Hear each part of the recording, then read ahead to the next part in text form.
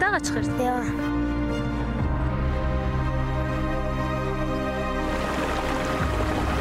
Həm təbiəti, havası, həm cəmaatı da çox qonaqpərvər insanlardır.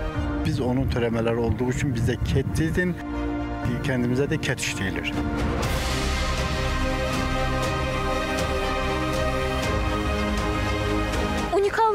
Dünyaya səs salan hətta 5000 il tarixi olan məskəndəyik. ASTV xəbər Xınalıqdadır.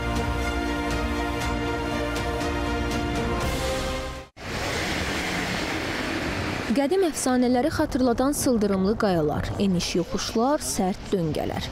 Cənnətə gedən yol çətin olur deyirlər. Boşuna deyilmiş.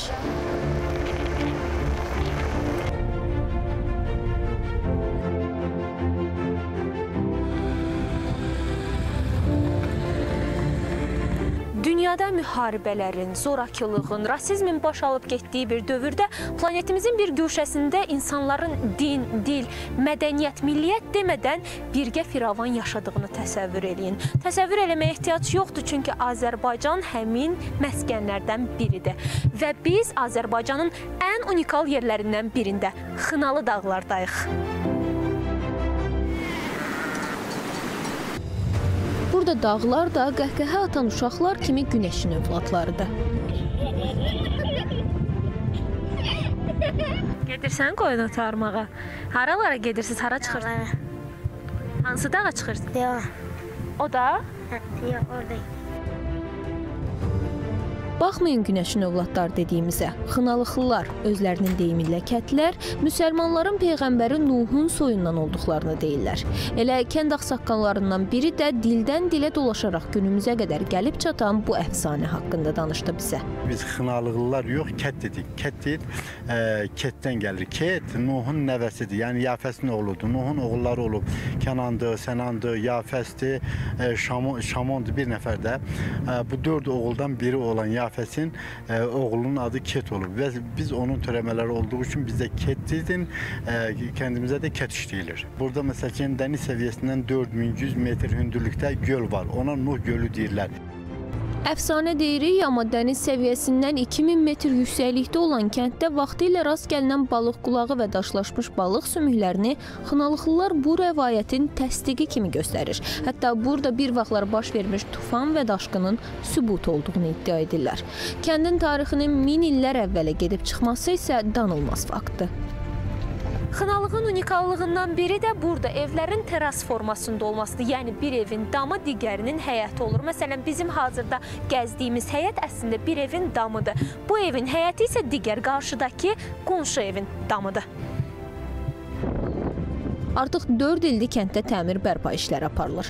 İl sonuna qədər daha 17 evin yenilənərək təhvil verilməsi planlaşdırılır. Lakin görülən işlər çərçivəsində kəndin unikallığı tam qorunur. Əsaslı e, olaraq e, bunların e, daş örgülərinin düzülməsi, qaydası, çay daşından örülməsi o əsas ənənəvi qaydalardan biridir. Və digər olaraq taxta millərin, haçalar var burada, sonra taxçalardır, ləmə deyirlər, bir çox daxili içərilərin də olan bütün avadanlıqlar, detalların hamısını qoruyub saxlamağa çalışırıq. Çünki bu torpaqlar, bu insanlar, bu tarix bütün bəşəriyyətin mirasıdır.